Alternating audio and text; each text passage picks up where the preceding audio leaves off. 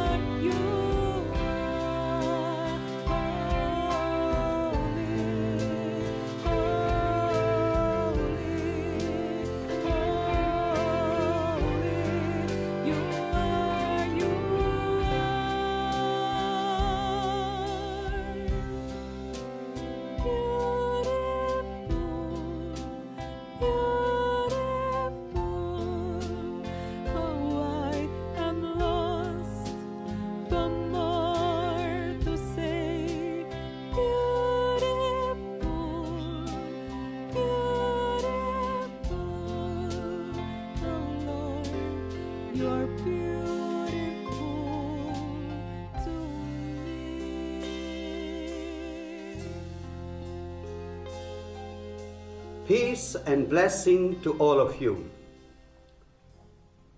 I greet you in the powerful name of Jesus Christ, the name that is above every name. At the name of Jesus, every knee shall bow, and every tongue will confess that Jesus Christ is Lord. I would like to share with you about unseen war. Now, war is a terrible thing. Right now, there are so many wars going on. It is terrible. There is a war of ideology, political wars, religious wars, social civil wars, wars in the families. It is terrible. But there is a war that is visible, but then there is war that is invisible, unseen war. And that's we war against principality, against demonic activity, against devilish devices and satanic schemes. And I would like to read with you from Ephesians chapter 6 and verse number 10 to 12.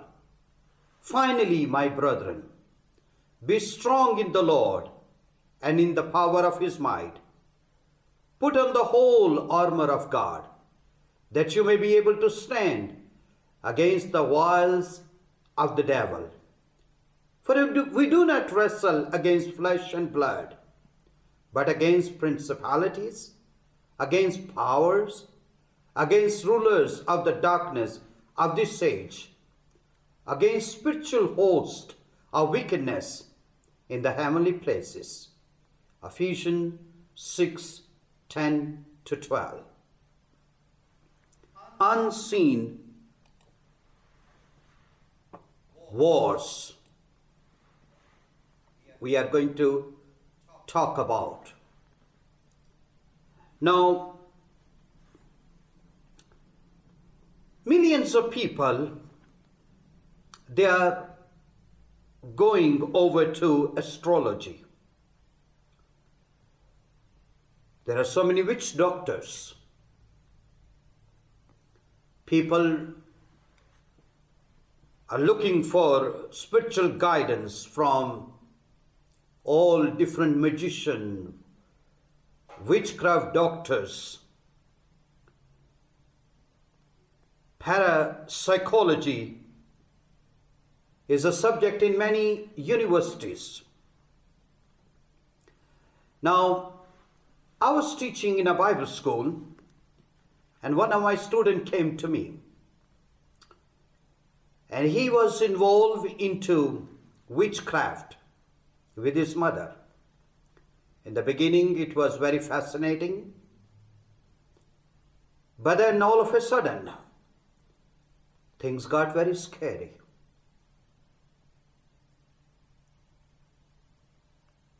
He was so scared, even to the point of death. So many people, they think these things are harmless, will do nothing. But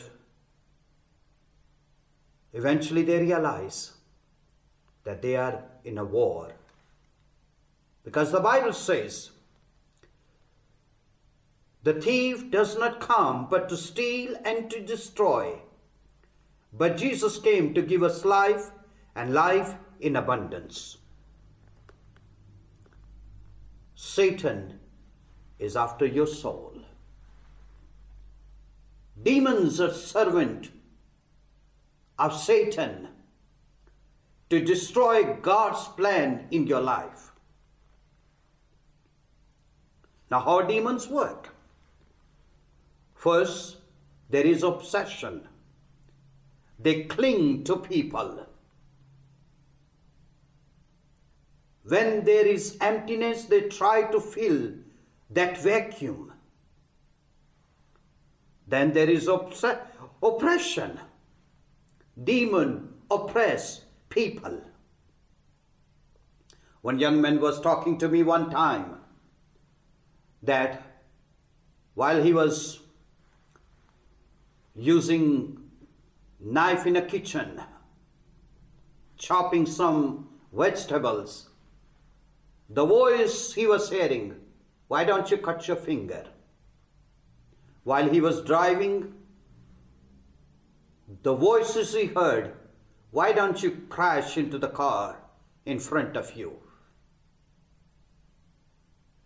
Demons oppress people, depress people, and then there is a possession.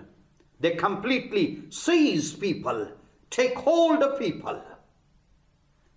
We are in a war. Demons want to destroy families, young people,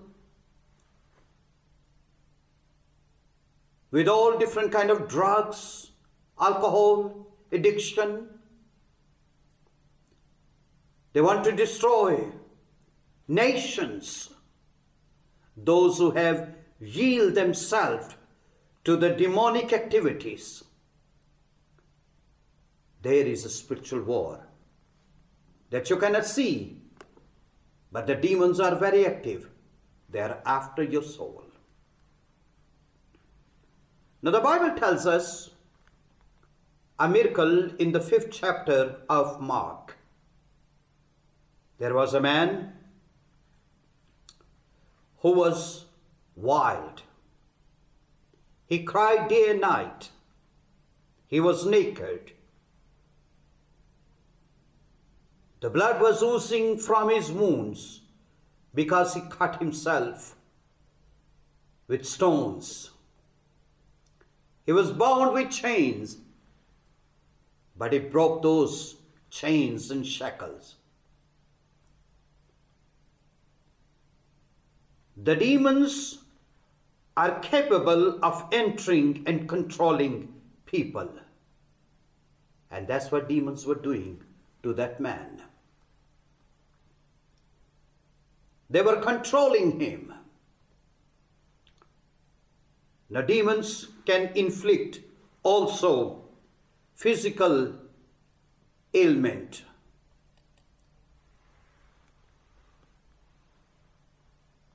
The Bible tells us there was a blind and a mute man. He was demon possessed. And Jesus cast out demons. And he was able to see and able to speak. We find that in the, in the 12th chapter of Matthew, what's number 22? There was a boy who had epilepsy. He was demon possessed. He was, he cast himself many times in fire, harmed himself. But Jesus healed him. We find in Luke chapter 13 and verse number 16 that there was a woman for 18 years whose back she couldn't raise up. For 18 years she was bound of Satan. But the Bible says Jesus cast out that demons and she was able to raise her back. She was able to stand straight, sit straight. Demons cause physical sicknesses. But let me tell you, we shouldn't be judgmental. If there is a sick person, a chronic disease, we shouldn't jump to the conclusion that every sickness is because of demons or every sickness is because of sin. In the ninth chapter of John, a man who was born blind, the disciple asked, Who sinned? His sin or his parents? That's why he was born blind.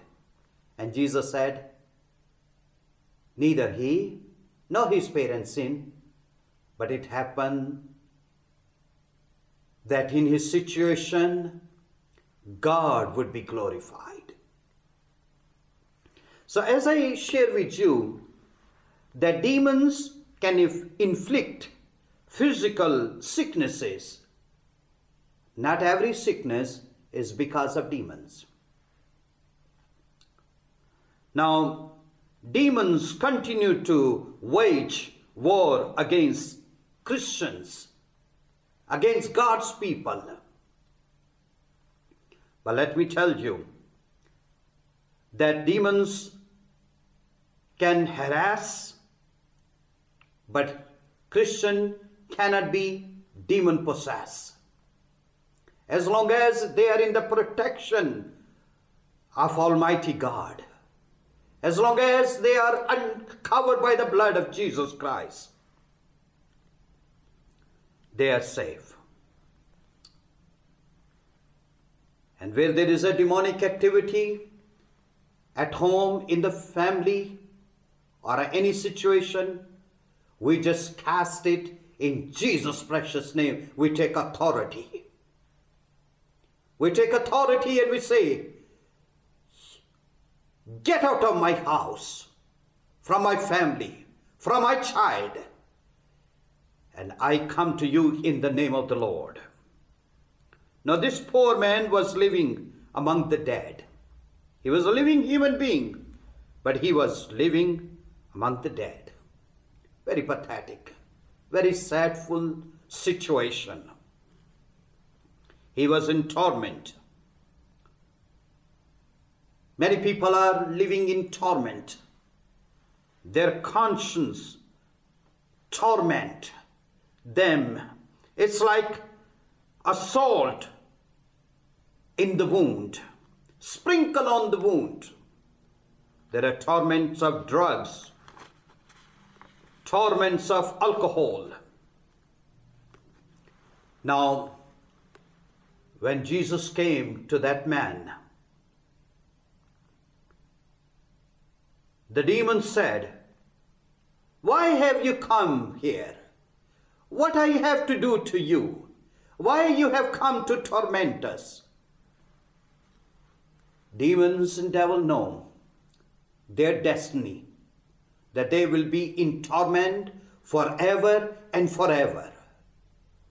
They said, O Son of the living God. Even demon recognized Jesus as the Son of God.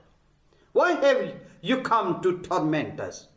What I have to do with you, Jesus? This is the same thing many people are saying today.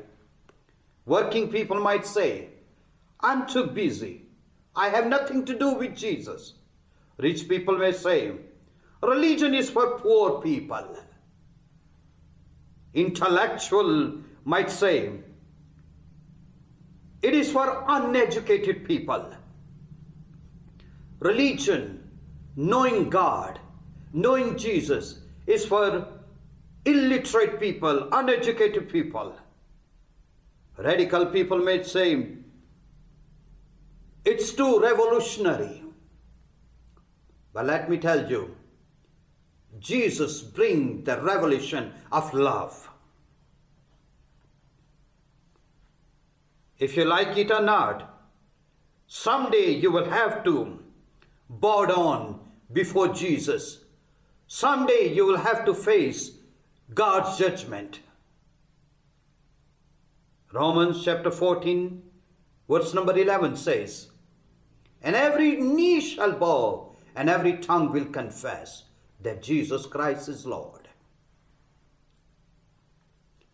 Now, when Jesus came, Jesus was unafraid. Jesus was loving. Jesus said, What is your name? And the demon said, Legion. It means there were more than 6,000 demons in one legion. There were in the Roman battalion, in one legion, there were more than 6,000 soldiers. So it means there were quite many demons in that man. But Jesus has authority, has power to cast one demon or thousands of demons. With the voice of authority, Jesus said, Come out. And all of a sudden, a change took place. The stone fell from his hand. His wild look changed. Humanity was restored. I just wonder. One disciple was wiping his face. That bloody face that has so many wounds on his face because he cut himself with stone. Another disciple clothed him.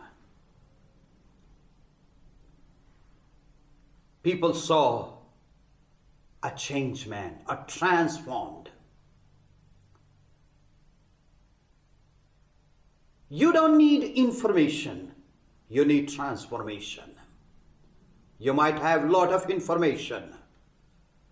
You might be very intellectual man, a man who like to read, a woman who like to study. You have a lot of information, but you need transformation.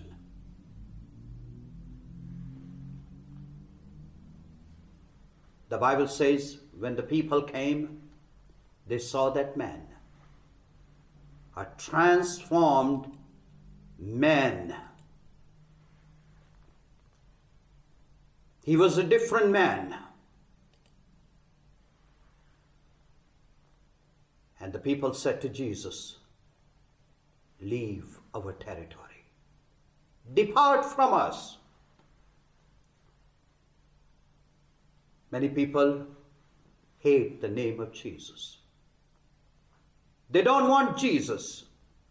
He's like a drowning man throwing away his life belt. It's like a poisoned man throwing away the antidote. A wounded man is tearing open his wound. But let me tell you, this man found rest. And that's why Jesus said, Come unto me who are heavy laden, I will give you rest. Prince of Peace, Jesus, the Prince of Peace, can give rest, can bring peace in our lives. That's why the Bible says, There is no for no peace for the wicked, says the Lord. The man was naked. Now he was clothed. He found covering. Jesus gave us the cloth of righteousness. The man found proper reasoning. He was in his right mind. Sin destroy our mind. We are in a war. With you fighting in this war against Satan, you will lose the battle. But I have a good news for you. Jesus is the champion. Demons are afraid of Jesus' name. They tremble at the hearing of Jesus' name. There is power in Jesus' name. Come to Jesus Christ and say, I want victory. I'm in a war. I'm losing my battle. I need victory. And Jesus will give you victory. It's very simple. With the heart we believe, with the mouth we confess that Jesus died on the cross and God raised him from the dead. And by that confession, you receive Jesus in your life, you will be saved. Are you going to say that with me? I give my life to Jesus. Jesus, I ask forgiveness. I confess my sin. Yes, I it. Say it loud. I come to you. Please forgive me. Give me victory against all demonic activities in my life, in my family, and even in my country. Help me, Lord. Your lovely name I pray. Amen.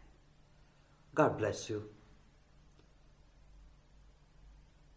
As you have given your life to Jesus Christ, you have a God, you can call him Abba Father.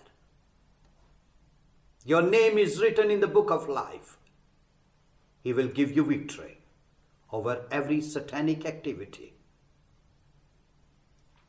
Victory is your. God will make you a champion. Read God's word. Pray to God in your own language. Listen to good gospel music. Find a Bible believing church. Write to us. We will send you literature. We will pray with you. God bless you. Always remember that Jesus loves you. He has a great plan for your life. Now I'm going to pray. Stretch your hand. I pray that God would just heal you of any sickness you have. Say that prayer. Jesus, I come to you. You're a mighty God. You're a healer. You does miracle. Deliver me, Lord. And Lord, heal me.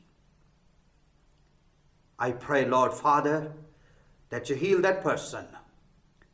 No matter what the doctor have said, we believe in a great physician called Jesus Christ.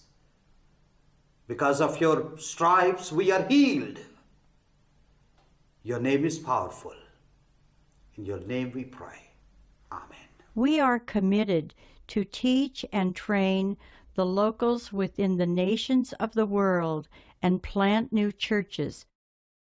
We are committed to help people in need by humanitarian and social work, by supporting widows and orphans, by providing quality education to underprivileged children, and by organizing vocational training programs for women. For prayer requests and information, contact us at gmministry at gmail.com or visit us at www.globalmissionministry.org. Therefore, submit to God. Resist the devil, and he will flee from you. Draw near to God, and he will draw near to you.